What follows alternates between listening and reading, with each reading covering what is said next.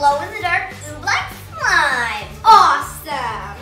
At it.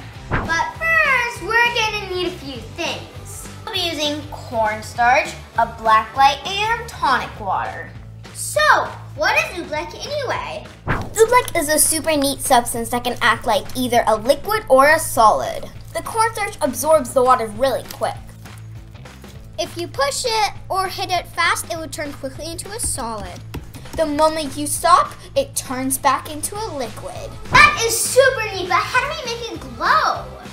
Great question. In order to make our glow-in-the-dark oobleck slime, we have to add tonic water. Tonic water is a carbonated beverage that contains a chemical called quinine. Quinine comes from a bark of a tree, and its chemical is very fluorescent with the black light. Whoa, that's so cool! Okay, let's get ready! The first thing we're gonna do is take our cornstarch and pour it into this container. Cool! Okay.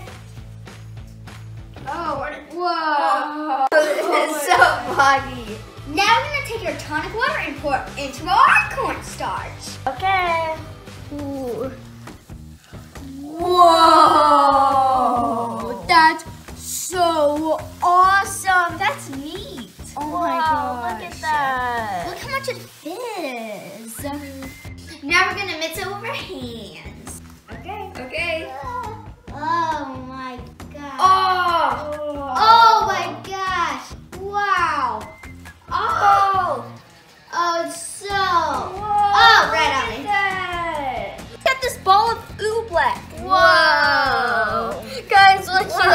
Crunch it up and then it like sings. Now to take our black light and watch our oobleck glow.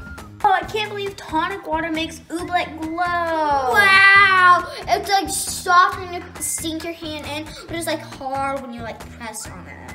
Whoa, when I pick it up, it kind of feels like dry, but like when I sink my hand through, it feels like water. Whoa. Oh my. It is so neat. Mm -hmm. It's like mm-hmm. hard, then soft.